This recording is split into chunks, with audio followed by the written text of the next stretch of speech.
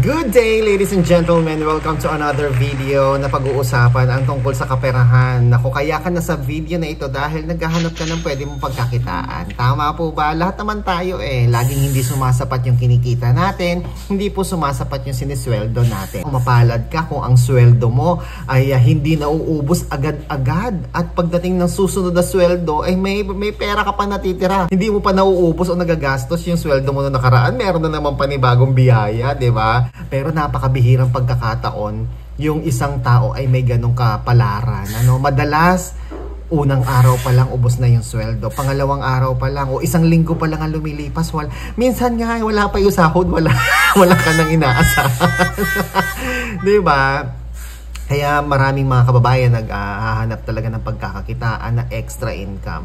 Alam niyo may nabasa ako, ito ah, isa sa mga nag-comment, isa sa mga follower natin, si uh, Fernan Aksalan. Hello Sir Fernan Aksalan, maraming salamat. Ha. Nag-comment kasi siya sa aking uh, YouTube channel sa video ko tungkol po sa lending business. At narito yung kanya shinare sa atin. Sabi niya, true, ako, nagsimula sa 50,000 na puhunan this January. As of now, no, ngayon ay April na, no, first week of March, and one month ago pa pala itong message niya. As of now, March po ito, first week, tumubo na kagad yung 50,000 niya ng 20,000 pesos. So imagine, January, February, March, 2 months. So parang ang tinutubo kada buwan nung kanyang 50,000, 10,000. Imagine guys, meron kang extra 10,000 pesos per month. At pwede pa tong lumago kasi yung 10,000 na tinubo mo, ipapautang mo ulit siya, tutubo na naman yung tinubo mo. No, tutubo na naman yung perang tinubo mo. Yun yung nangyari dito. So, maganda talaga no na nasa lending business siya. Sabi niya nga dito, plus sideline lang ito sa kanyang company habang nag-work daw siya. Hindi pa daw po ito full-time.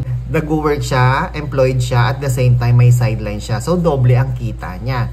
Kapag 5K pataas, ATM na daw yung ginagawa niyang collateral kasi mga katrabaho din naman niya. Ang kagandahan daw, weekly daw yung sahod nila. Kaya parang weekly, meron siyang kinikitang dagdag, di ba? Bukod sa kanyang sweldo. Kasi nga may palending business siya sa kanilang opisina o sa kanyang kumpanya. Weekly din, may kita parang mas malaki pa kita sa lending kesa sa sahod ko every week. Kailangan lang talaga may pangunawa ka sa mga customer mo if di sila makahulog. At uh, kahit tubo lang, okay na. Meron din siyang mga katrabaho na hindi na nakakabayad sa kanya o nahihirapan na magbayad sa kanya, tubo na lang daw muna yung sinisingil niya.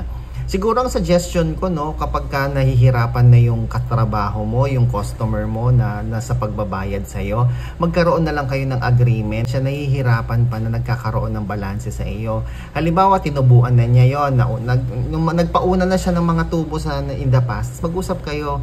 Sabi mo, um, pa, uh, kaya mo pa ba? I mean, um, anong plano mo na mabayaran ako? Kasi kung hindi, ibalik mo na lang yung principal para matapos na tayo. Uh-oh. Kasi sa negosyong lending business talaga mga kaibigan, kailangan may puso ka din, no? Hindi lang pwedeng laging pera. Baka hulog na lang siya ng hulog ng interest, hindi na siya matatapos nun, 'di ba?